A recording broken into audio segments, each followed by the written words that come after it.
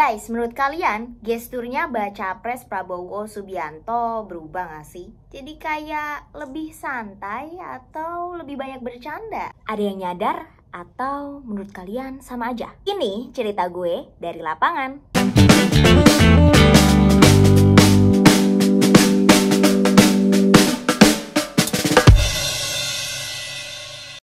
Siapa sih yang gak kenal sosok Prabowo Subianto? Apalagi sekarang ini udah mau deket-deket Pilpres 2024. Tapi kalian nyadar gak? Ada perubahan pada gestur-gestur Prabowo Subianto. Terutama kalau kalian bandingin gesturnya Prabowo Subianto di zamannya Pilpres 2019 sama yang sekarang ini. Lain itu, image-nya Prabowo Subianto itu sering banget dipandang sebagai sosok yang galak karena jejak karirnya sebagai mantan prajurit Kopassus. Iya, Prabowo itu mantan prajurit Kopassus yang jabatannya Komandan Jenderal Kopassus di tahun 1995. Ya, kira-kira itu beberapa tahun sebelum gue lahir gitu ya. Bahkan sebelumnya, Prabowo itu sekolah di Akademi Militer Magelang tahun 1970. Kayak gitu ya. Prabowo itu dikenal berjasa karena membebaskan 12 peneliti di operasi melawan gerakan Papua Merdeka. Sedikit info nih, Prabowo itu loh, udah tiga kali loh dia ikutan ajang pilpres. Waktu tahun 2009 tuh, dia jadi cawapresnya Ibu Megawati Soekarno Putri nih. Dua, dia nyapres, dia maju capres di tahun 2014 dan cawapresnya Hatta Rajasa. Terus dia maju lagi di tahun 2019 bareng Sandiaga Uno. Dan di waktu tahun 2019 kalian pasti nggak asing sama uh, kejadian waktu Prabowo gebrak meja pas lagi kampanye. Kejadian Prabowo mukul meja itu itu terjadi pas dia lagi kampanye di Stadion Kridosono Yogyakarta 8 April 2019 ingat kau adalah tentara rakyat. Kau adalah polisinya rakyat. Seluruh rakyat Indonesia boleh mengabdi kepada segelintir orang. Apalagi kau membela antek-antek asing.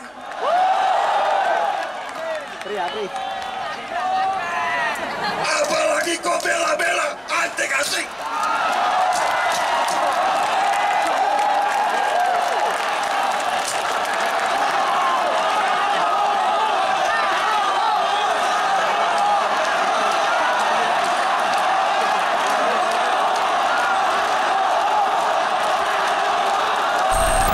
lagi ya ke zaman-zaman Pilpres zaman sekarang nih. Pilpres 2024. Ada yang beda nih. Apa tuh?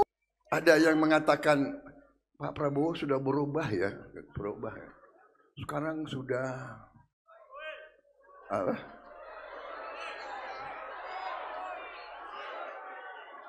Sekarang sudah sudah banyak bercandanya. Sudah nggak galak lagi kayak dulu. No kan?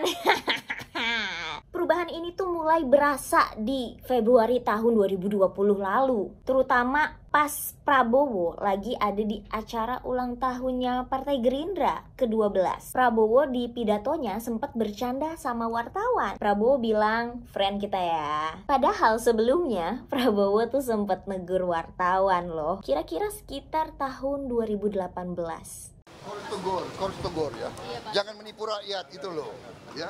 Gak baik. Ya, Pak, boleh minta Jadi kalau kalau begitu nanti kalian akan ditinggal rakyat.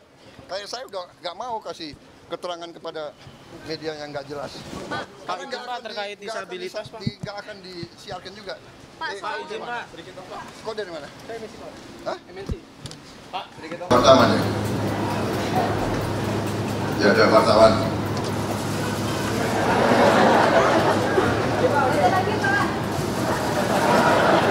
Friend kita sekarang ya.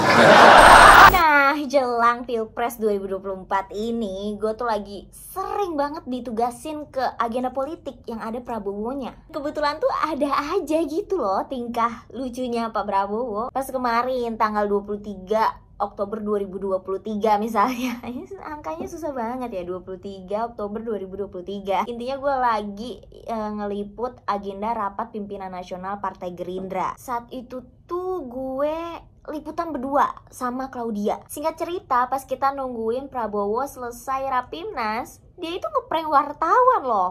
Ini lucu banget, ini lucu banget. Dia ngeprank wartawan. Kita kira dia tuh kabur. Terus kita udah panik gitu ya ngejar juga. Ternyata dia balik lagi sambil ketawa.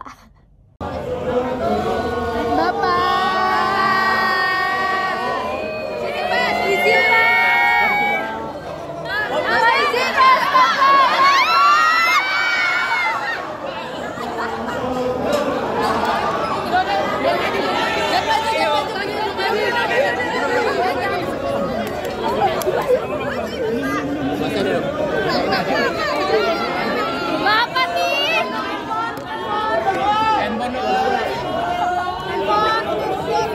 Bapak pakai kabur sih, Pak. Pada panik wartawannya Ngakak banget semua kayak Deg-degan banget Mas mau doorstop Aduh gimana nih Ternyata balik lagi Eh tapi gak cuma itu loh Gue liputan Prabowo lagi ya Di hari Kamisnya nih Di tanggal 26 Oktober 2023 Dan di hari itu tuh Dia tuh lagi jadwalnya medical check up Sama eh, Mas Gibran Boleh saya ng- ngaku nggak? Ini di depan banyak orang loh. Saya mantan Kopassus tapi saya takut disuntik jarum.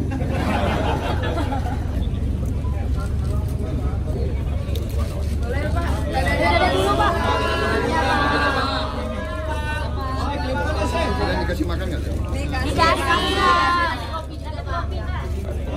Mau ke mana Pak? Habis ini istirahat ya Pak? Mau istirahat habis ini Pak? Saya Iya. Mau ke mana Pak? lalu mulai kita ya. Jadi anak muda ini, masih muda jiwanya. Udah. Nah, itu dia sejumlah perubahan gestur Prabowo Subianto dan tingkah-tingkah lucunya jelang Pilpres 2024. Kalau ditanya kok bisa sih berubah gitu? Alasannya Ya, namanya sudah sudah dua kali kalah ya.